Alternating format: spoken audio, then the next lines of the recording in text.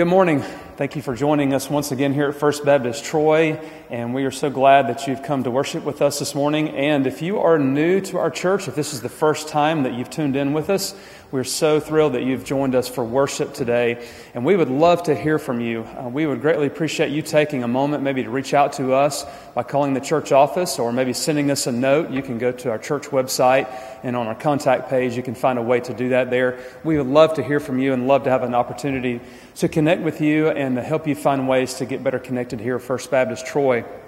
And each and every week, I know the majority of you that are watching today are, are regulars with us, and we hope and pray that these services have been an encouragement to you. And we want, I want to mention just a couple things to you by way of a reminder and also some announcements. Uh, next Sunday, on the 16th, will actually be our first Sunday back uh, in Sunday school. Some of you that have been tuning in may be planning to come back to your Sunday school class.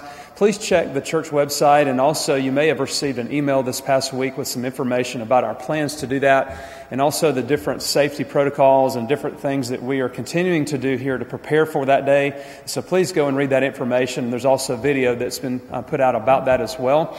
And so we encourage you to go do that. And also, uh, we will have our normal schedule will be at 9 o'clock Sunday school, and then 10.15 we'll have one service back here in the sanctuary. And uh, so we hope to plan and see there if, you, uh, if you're planning to come be with us. Today, however, is College Sunday, and we're excited uh, to receive many of our college students who are back uh, at Troy University here in town, and also some of their families that will be joining us here in the sanctuary uh, today. And so we are so thrilled that, that they're coming to do that. And Grant Norris, our college pastor, is going to be preaching this morning, so be in prayer for him as he brings God's word to us. And uh, now, if we'll take just a moment now to pray, and then following my prayer, uh, if we'll take just a moment, there will be a video that we're going to be watching together that explains a little bit more about what's going to be happening uh, with our college ministry coming up this fall. So let's pray together. Lord, we thank you for this wonderful time and the opportunity again to worship together. We pray, Lord, for your spirit to continue to minister to us. Lord, as we celebrate your grace in our lives and as we celebrate your love for us and your greatness, God, we worship you together. We confess our sins, Lord, before you. Lord, we know where we have failed. And we ask God that you would forgive us and cleanse us. And we pray for the gift of your Holy Spirit to come alongside of us and within us as we continue to pray and to seek you. And as we open our minds and hearts up to your word now and throughout this service. Lord, we also want to pray for our college ministry, Lord, for Grant and his leadership, but also our college students that are with us now and for their families. And we pray, God, on this day, Lord, that there will be many that will be encouraged through your word.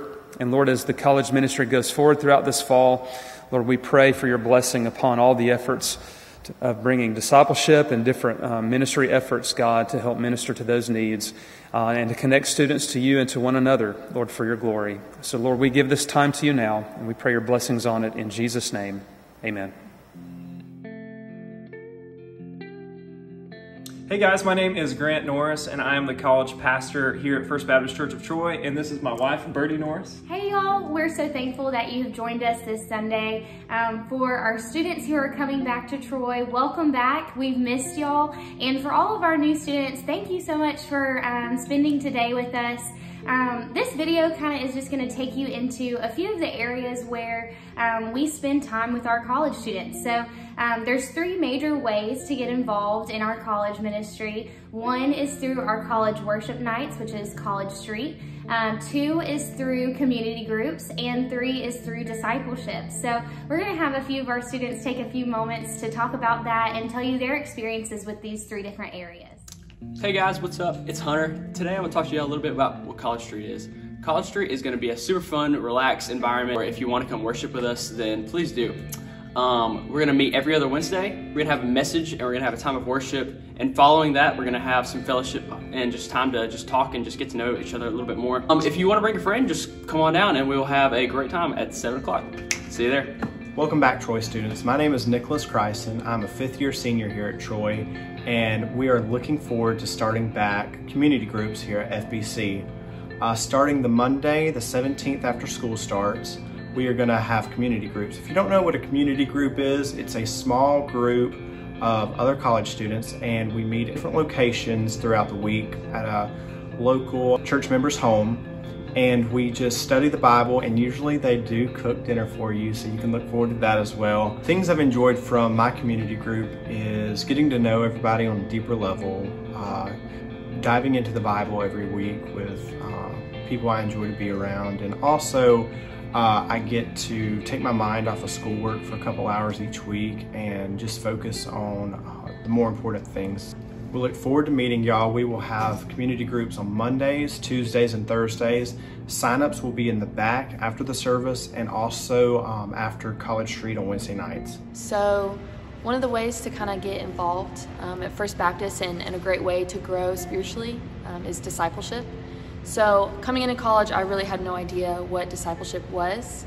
Um, but I, I, soon learned whenever older believers kind of reached out to me and um, kind of encouraged me to, to invest in myself in this way. So really what discipleship is, um, it's a, a more in-depth um, way to grow spiritually than more in-depth than like a small group or a Bible study. Um, and really the, what it looks like um, is an older believer leading younger believers, um, teaching them how to read the Word, teaching them how to walk with the Lord and, and how to love the, uh, the Lord, how to struggle against sin, um, and really doing life with them.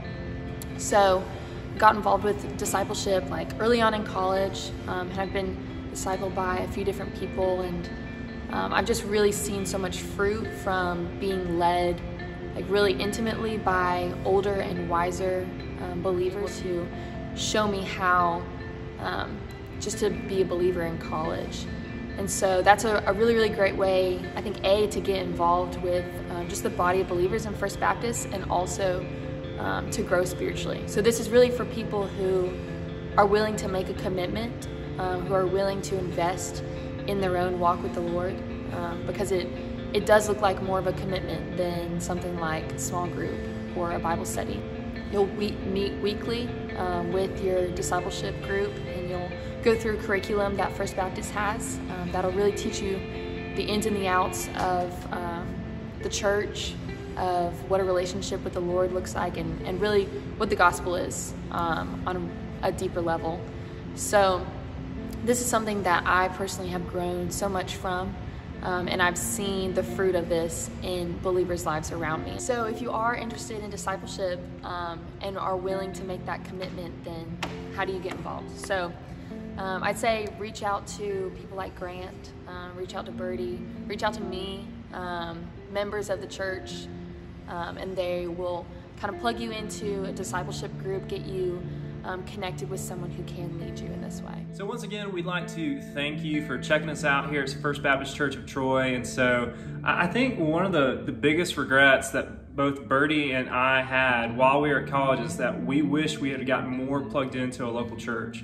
And so that that's our challenge to you today is that uh, you're going to have so many commitments thrown at you during your time at Troy, but uh, we just want to challenge you to make the commitment to a local church in Troy. It doesn't have to be us. We'd love for it to be us, but there's also other great options too. But uh, once again, thank you so much for checking us out and hope you enjoyed the service today.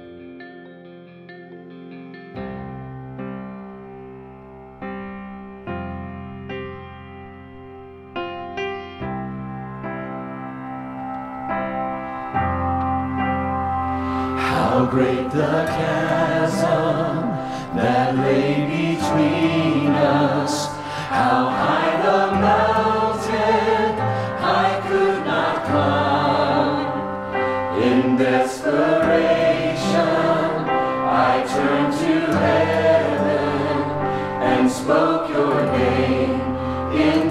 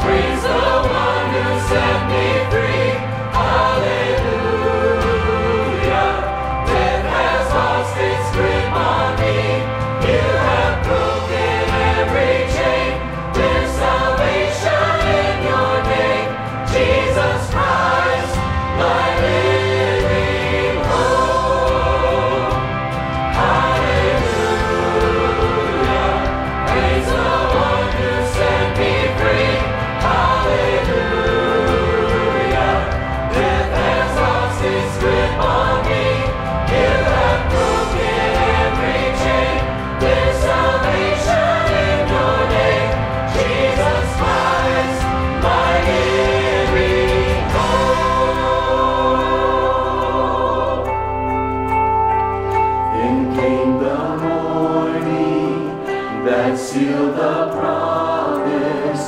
Your very body began to breathe out of the silence.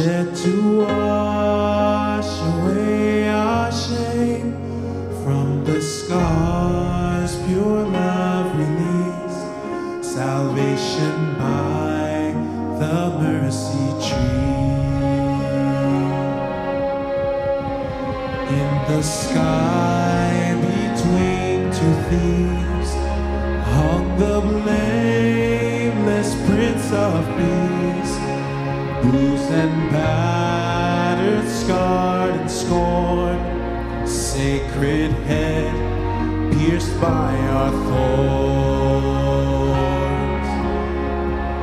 It is finished, was his cry. The perfect lamb was crucified. The sacrifice,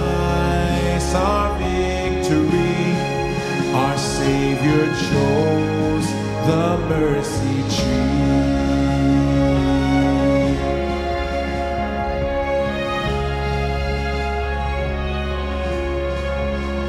Hope when dark that violent day, the whole earth quaked at love's display.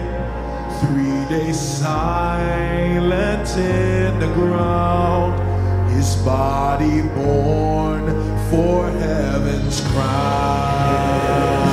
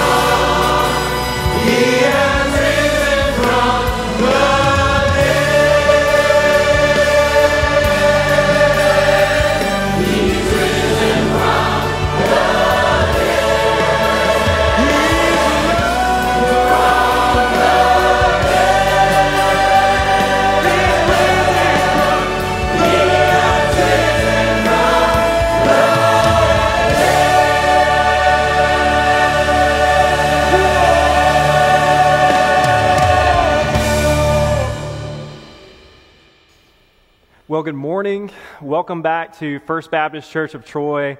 Uh, if you're watching from home, thank you so much for tuning in with us. And so, we're actually having our College Sunday here at the sanctuary. And so, we're going to have two separate services and uh, just a great time to have college students back. And so, today, our text is going to be in Matthew chapter 7, verses 13 through 29. Matthew chapter 7, verse 13 through 29. And uh, while you're turning there, I've just been thinking about uh, the anticipation of students coming back, thinking about my time in Troy. And one story that just stuck out to me was a time where um, I had such good memories of going home to get really good home cooked meals. And so I lived two hours away from Troy when I was a student here. So many weekends I'd go with a, an empty belly and uh, two to three months worth of laundry in the back seat of my car for my mom to do. And so uh, one of those trips had a great time, and I had a friend tell me, you know, you don't have to take that two hour long trip to get back to Troy. There's an hour and 30 minute way. All you got to do is take this county road, take a left at this church sign, go straight, take one more right, and you're in Troy. And I thought, you know what? That sounds like a pretty good idea. I think I'm going to take that path. The only problem was I did take that path. It was all country roads. My phone died, so I had no GPS, and the instructions started to get a little fuzzy to me. And so, luckily for me, or what I thought was luck, is I saw another car with a Troy decal on it. I said, Thank goodness. I'll just follow this person, and I'll probably end up in Troy. Well, concern drew when 30 minutes later, this car is taking lefts and rights all over the place, and then I see they turn off to the side of the road. They were just as lost as I was. So I begin to panic. I think this is, this is where I'm going to die. I'm going to die in, amidst the pine trees in rural Alabama. But it took me hours of just going in circles to finally find my old truth path that led me back to Troy, that led me back home. And so I say all this today because I think our text and what we're going to read today really hits home this story in a spiritual lens that maybe you who are watching today thinks you know a shortcut of how to get to heaven. Maybe you think there are more roads and religions that will get you there. And then Jesus is going to hit us with a huge truth bomb. And so, would you read with me Matthew chapter 7, verses 13 through 28? Enter by the narrow gate, for the gate is wide and the way is easy that leads to destruction. And those who enter it by it are many. For the gate is narrow and the way is hard that leads to life. And those who find it are a few. Beware of false prophets who come to you in sheep's clothing, but inwardly are ravenous wolves. You will recognize them by their fruits. Are grapes gathered from thorn bushes or figs from thistles? So every healthy tree bears good fruit but the diseased tree bears bad fruit. A healthy tree cannot bear bad fruit, nor can a diseased tree bear good fruit. Every tree that does not bear good fruit is cut down and thrown into the fire. Thus you will recognize them by their fruits. Not everyone who says to me, Lord, Lord, will enter the kingdom of heaven, but the one who does the will of my Father who is in heaven. On that day, many will say to me, Lord, Lord, did we not prophesy in your name? Did we not cast out demons in your name? And do mighty works in your name? And then I will declare to them, I never knew you. Depart from me, you workers of lawlessness. Everyone then who hears these words of mine and does, and does them will be like a wise man who built his house on the rock. And the rain fell, and the floods came, and the winds blew and beat on that house. But it did not fall, because it had been founded on the rock. And everyone who hears these words of mine and does not do them will be like a foolish man who built his house on the sand. And the rain fell, and the floods came, and the winds blew and beat against the house. And it fell, and great was the fall of it. And when Je- Jesus had finished these sayings, the crowds were astonished at his teaching, for he was teaching them as one who had authority and not as their scribes. So, this is the word of the Lord. This is Jesus' final words in his infamous Sermon on the Mount. Now, before the pandemic happened, we were going through a sermon series on College Street about the Sermon on the Mount. And so today I want to speak on the last bit of this sermon because it's not just an end of the sermon, but it's a call to something new, a call to something greater. But for us to really understand the picture of what Jesus is painting, I think it's really important that we go back to chapters 5 to where the Sermon on the Mount began. So Jesus came to establish this kingdom. It was heaven on earth. It turned everything upside down of what we thought religion was to be. And in chapters 5, he starts saying that the people of this kingdom will look radically different compared to a lost world. He starts with the Beatitudes Blessed are the people who do this. And how rare is it to see people who are actually listed as these things from the Beatitudes? Where are these desperate people spiritually? just someone who's vulnerable enough to know that he needs help? Where are the gentle people who are filled with mercy and grace with one another? Where are the peacemakers? Where are the peacemakers in our politics today? Where are any of these people? I'm afraid that they are becoming fewer and far between.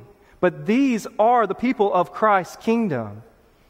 And for us watching today, I, I wonder for us, are, are we actually good representations of his kingdom? Do we match these lists of Beatitudes?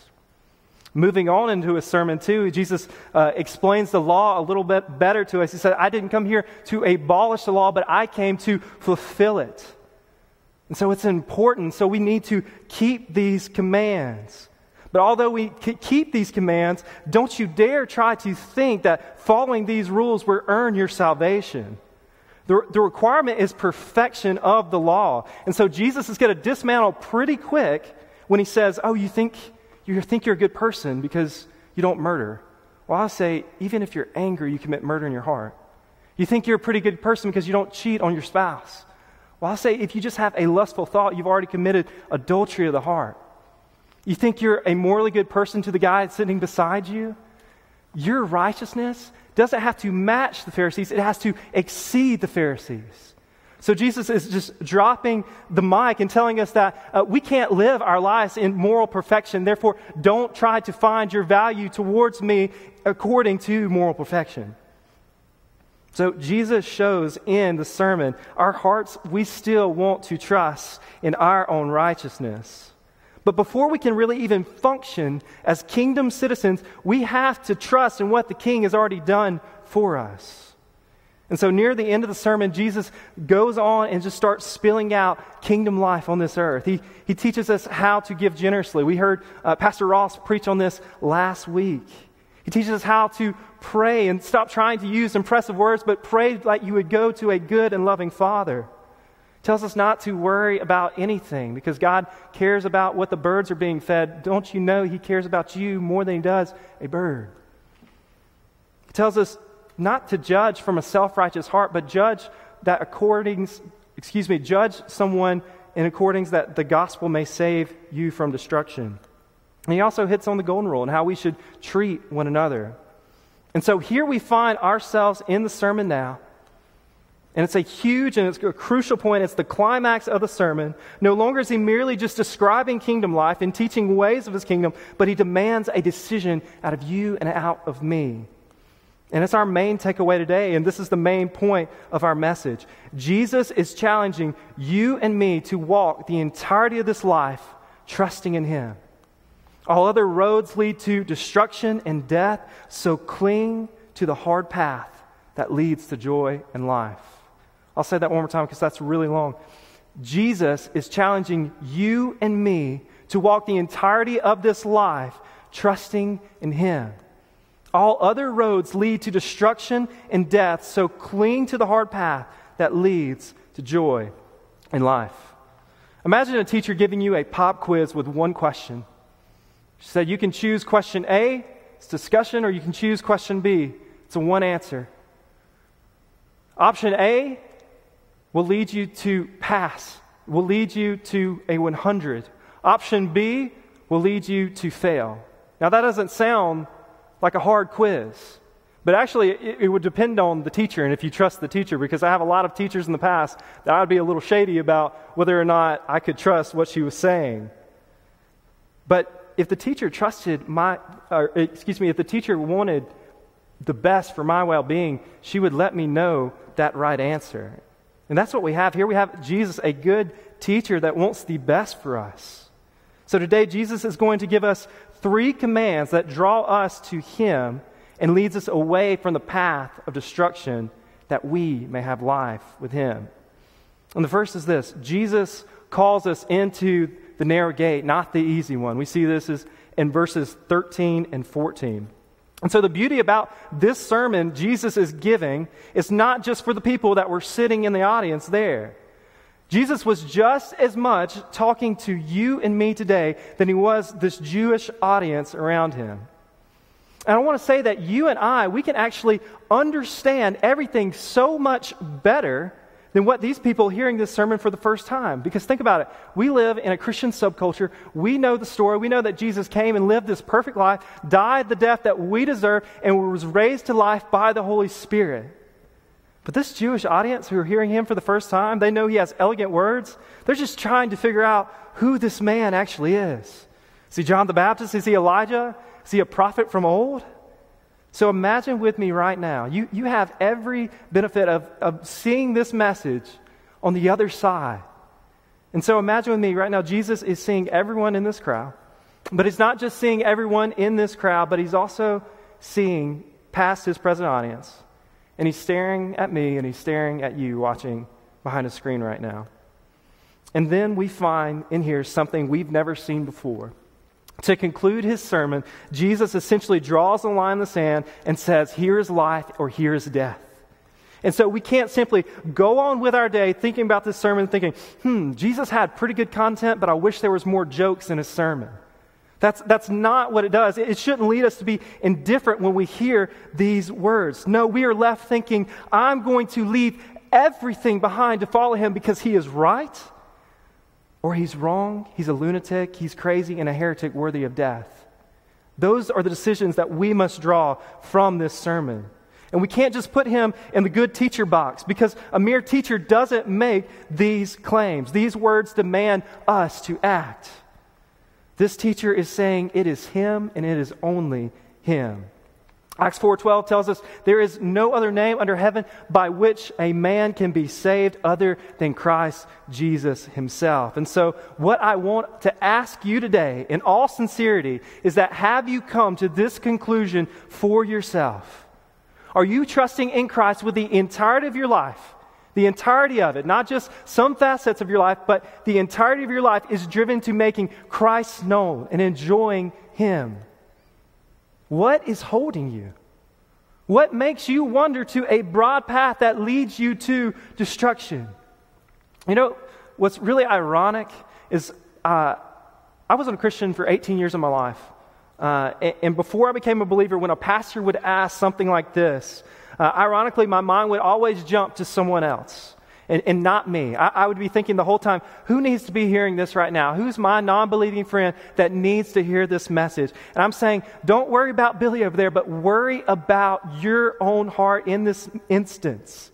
Evaluate yourself. Focus on your heart. See what Jesus is preaching to you right this moment. Because my hope today is that the Lord will use this time to blow up maybe one college student's plans so he won't perish. I hope that the Lord will use the, his own words today to totally wreck a person who is watching this on a screen that's been a member of our church for maybe 20 to 40 years, who's never fully understood the gospel, and it finally clicked for them. That is my prayer and that is my hope that we can be honest with ourselves. So let me ask you, what are you living this life for? Or what will you live the rest of your life for? Because if it is for yourself, it, if it's just to be right and burn all relationships, if it's just to have fun, if, if it's going to just ensure that your child has a happy life all the time by the world's standards, if it's just one of those things that you are living your life for, you are on a path of destruction. For our college students that are going to be here Sunday morning, they're, they're going to hear it their whole lives that to build a name for themselves. They need to work hard. College is to establish time for yourself. Your success is defined by your power, your wealth, and your influence. But I want to raise a generation of college students who break that mold and follow a narrow gate life. Because the narrow gate life, it stops us in our tracks and it says, No, I, I am not called to live for myself. I'm called to deny myself. I'm called to give generous, generously with my money and my time and my efforts. And I'm called to be dependent on someone else entirely other than myself. Therefore, it must contradict everything the world is telling me. And this, this is why the narrow gate is hard. Because it makes me someone who my flesh doesn't want me to be. So, who makes up this broad path? Who makes up the broad path of destruction? Who is walking there right now? I think it's easy for us. We can reason that, well, the irreligious people, they're, they're on that path. People who aren't associated with Christians, who, who make up their own sense of morality and, and consider Christian principles obsolete. I think that's, that's an easy one for our older generation here at the church to consider. Uh, that, that's a no brainer. But let me tell you right now people who are under the age of 25, uh, I, have actually missed this myself. It's the generation below me are under immense pressure to conform to beliefs because the majority secular world view wants to devour them for not agreeing with them. And so that's, that's a rant for another day. But so college and uh, college age and youth, don't, don't lean with the culture just because the majority is pressuring you. Take a step back. See what Scripture actually says about an issue and go from there. But it's not just the irreligious that are going down this path. Because it's, it's not just those who openly oppose God. Uh, what's scary about the broad gate is that Jesus says the majority are on this path. So it's not just uh, the Disney villains with eye patches. And it's not just the politician that you really can't stand or, or the anchors on a news political room that you don't like. It's, it's actually people that we know well. It's, it's regular attenders at church. It's, it's the self righteous who have never spent any legal trouble, any day in legal trouble. It's someone who could admire the morals of the Sermon on the Mount. It's your neighbors. It's people that you see every day that seem like morally good people that are going down a broad path to a broad gate. The narrow gate is hard because when Jesus talks about our purpose being salt and light, it means that I'm meant to put on the character of God on display for the rest of the world to see. And if that's not my driving force, and that's not what's waking me up in the morning, then I'm missing my purpose. To put it in context, God has strategically placed you wherever you are in the city of Troy, in the neighborhood you are, to make His glory known. For our college students, that is on campus, in your classroom, under teachers, in fraternities, sororities, bands, and athletics. And here's what the Broad Gate wants you to do the Broad Gate would want you to make yourself known during that time and your organization known. But the Narrow Gate cries out for you to use that platform to get the gospel to people around you. The Broad Gate would be to come here for years with mere affiliation and no heart change no desire to be active for the kingdom. So we have a lot to contemplate. We have a lot of people with different backgrounds, different ideologies, different political affiliations that are running down a broad gate. So, what Jesus has said here is that uh, the world applauds multiple paths and well informed opinions, but when it comes to me, there is no middle road. And so he deserves more than us just seeing these as words, more, as, more than us just seeing these as good morals and ethics, like a buffet line that we can choose and pick that works best for us. And that leads to our second point. Jesus reveals our actions and words mean nothing if they don't match the heart. So imagine if a man goes to the doctor because his head really hurts. This is a made up situation. Don't think it's a brother I know in person. Um, but for the sake of the analogy, uh, a man goes to the doctor. His head is in extreme pain. The doctor just looks at him, says, doesn't really examine him very well, and says, You have allergies. Take these and you'll be fine in a week. Well, that doesn't sound all that bad. I'm, I'm going to take those pills and I'm going to get better. Well, after a week, he's even in more pain. So he goes to another doctor describes his symptoms, and the doctor says, That, that's, that doesn't sound like allergies to me at all. We need to get you an MRI immediately. And what they find on the MRI is a brain tumor that they have to operate on now, because if not, it's going to kill him. So you have allergies. A doctor that says that, that is surface level. That is taking a pill. Then the other doctor pointed to something that was so much more severe. And the road would be so much difficult, so much more difficult to recover from. His words were harder to hear, but which doctor pointed us towards life and actual healing? The one that was right, even if his words were hard to hear. And so sometimes love looks more like hard news than it does passivity to avoid conflict. And that's exactly what Jesus is doing for us here, bringing us tough news, which is ultimately the most loving thing he can do or say to us in the moment. When he says the heart of the problem isn't you just doing bad things, it's not just circumstantial things. The heart of the problem is actually your heart. We need new hearts before we can do anything of good.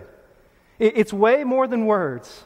It's way more than our gifts, uh, and it's way more than just surface level change. It's, it's a love that comes from Jesus supernaturally, and that's why he's warning us here about false prophets in verse 15. These are men that would probably have great words, great influence, had all the gifts in the world. What's interesting about this text, and something I've never even really noticed here, is that He's not even saying that these false teachers are saying wrong things. He is simply saying their hearts don't match what they're saying. And so he says, How do you even, how do you even know if they're true prophets? So you need to look at their heart. You, you need to look at the fruit that they are producing in their life. And so that usually surfaces in, in how a, a false teacher runs a church or how he actually just lives his life. And sometimes that can even show up in their teaching. Pastor John MacArthur says, No one is going to openly sell hell to you. No one says, Join our group, and that leads you to destruction and death. No, and that's, that's what makes this dangerous, is because these men are wolves. And maybe not even knowingly. Most people have good intentions that still can rob you away from the goodness that is the gospel. And so I think what Jesus is trying to communicate here is discern what is good and what is evil. I tell college students all the time that find men, find pastors, and find churches who love the Lord genuinely and preach the Bible. Don't go where you hear a, a, half pep talk and how awesome you are every week, but go somewhere and get plugged into a place that is going to challenge you to grow in your faith and love the Lord your God. Because it is so easy to get spiritual in Troy, Alabama, and not actually know the Lord. Verses 21 through 23 should be some of the scariest words for religious people. You're telling me that I can do all these things? I can be in church every Sunday and I can still go to hell? So, hear this warning how we talk about God, especially around others, isn't the best indicator of whether we are following Jesus. And because we live in the Bible Belt, we place this really high value on words and who can articulate and who is gifted in talking about Christianity. That's why we have so many celebrity pastors, which I think is a contradiction in itself. But the danger is that we, we learn words about the Christian life and we memorize them, but we never really experience any intimate walk with Jesus because we're just regurgitating what other people are saying. And that is, that is my fear with cultural Christianity, and that is my fear of being in the Bible Belt. Because you can know a whole lot about something, but actually not know anything about it. And then in verse 21 through 23, you, you get these big name guys with these good Christian resumes, the ones that we would call, these are solid guys their whole life. And Jesus says, Depart from me. I never knew you.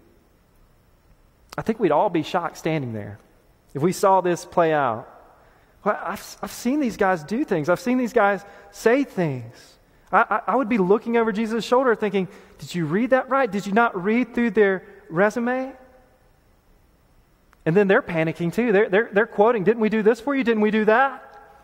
And it's sad because it's almost as if Jesus is telling us, Your mighty works aren't proof that you are mine. The fruits of the Spirit which stem from the heart prove that you are mine. Paul says it best in 1 Corinthians 13 when he says, If I can speak in tongues of angels, if I have all kinds of prophetic powers, if I have faith that can move mountains, but I don't love, I'm nothing. I can do a lot of good things in this life and yet not know my Creator, not know my Father, and not know my Savior. The kingdom doesn't work like everything else in this world. It doesn't look for influencers. It doesn't look for the most spiritually gifted. It finds the most needy and the most desperate to make Christ shine even greater. The life of the kingdom is a whole lot more beautiful than we could ever imagine or ever plan for it ourselves. He uses ordinary people to make Jesus great. It's the woman who spends hours at night praying in a prayer closet that God answers her prayers and he moves. It's the person who has an unimaginable loss of a loved one who comes to Christ with a tear stained Bible in which God gives them infinitely more than they lost. It is one who has some kind of egregious thing done to them by a spouse, a close friend, or a family member. Through that devastating sin, bitterness and resentment came knocking at their door.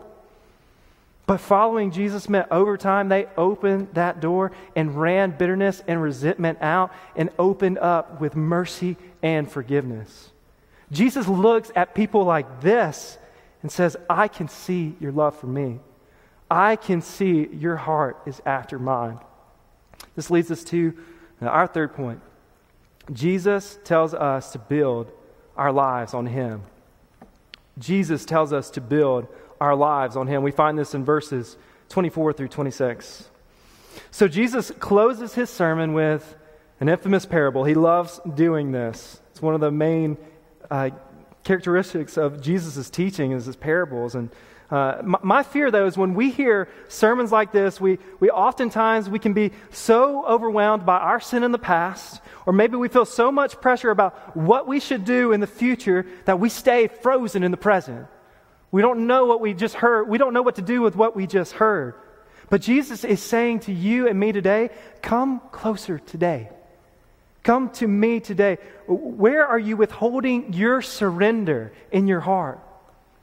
Where are you covering your heart? Come closer. Where are you treating heart problems with surface solutions? Come closer to me.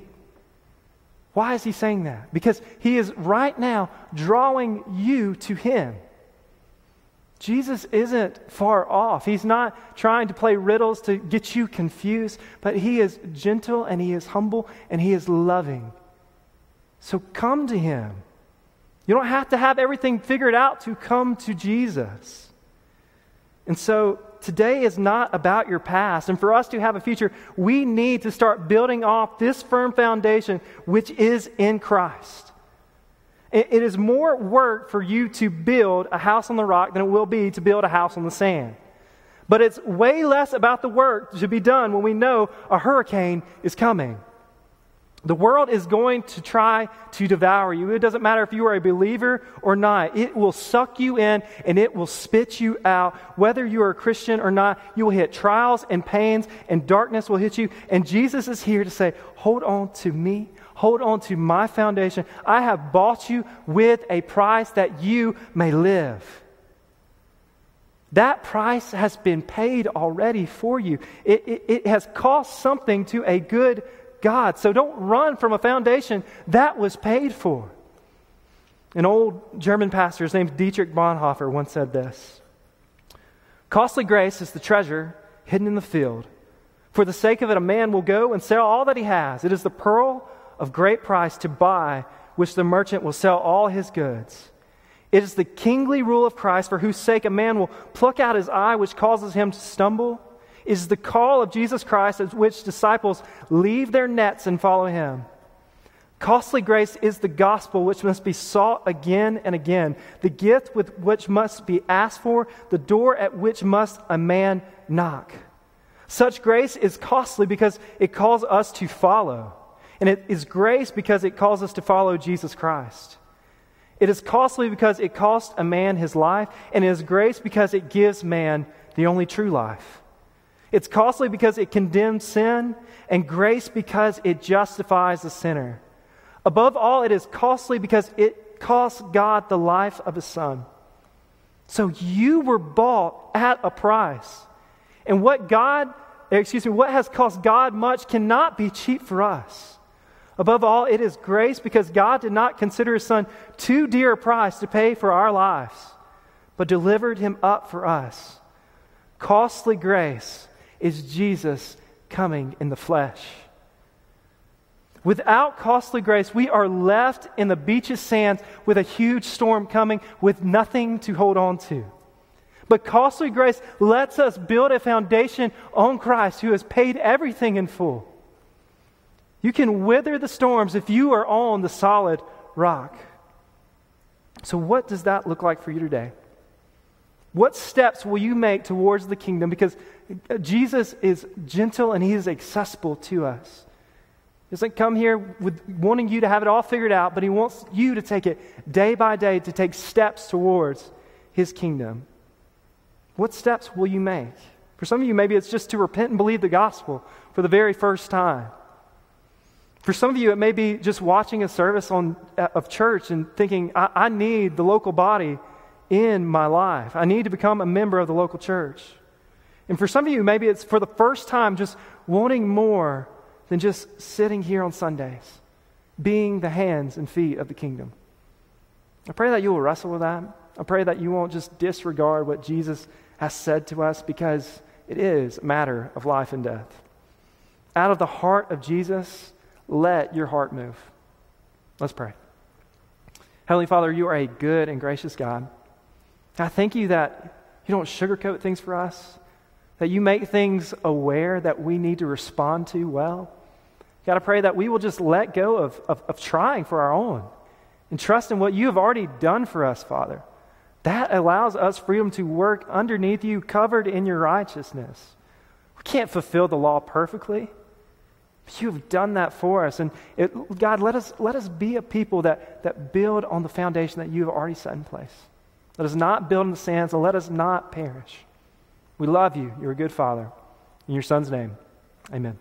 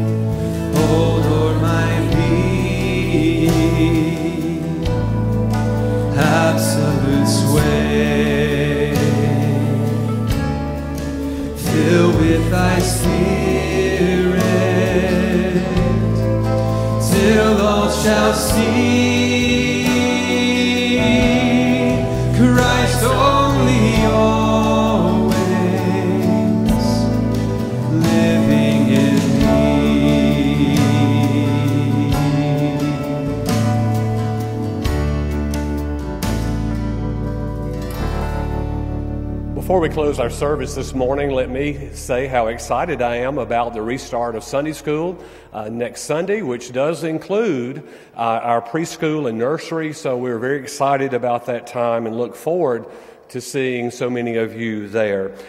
So as we close this morning, I can't help but think about our college students and our college ministry over the past few years, and also for our current students that are attending worship this morning, and the questions of who might God be leading to become members here at First Baptist and to serve Christ and His church.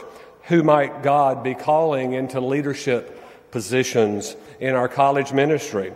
And who might God be calling into full time ministry as pastors, ministers, and missionaries? And who might God be calling among our adults to serve and become involved in our college ministry? Because we actually have former students in all of these categories. So, church, let's pray for our students and the impact that we might have on them and also on the kingdom of Christ. So let's pray together. Father, I thank you for this time together this morning. Father, I thank you for Grant and his ministry among our college students. And Father, I would pray that we would see the impact that we can have on these students as they are here on our campus and in our church. Father, thank you that you have called so many of them to remain right here and be vital members of this church, serving in so many capacities.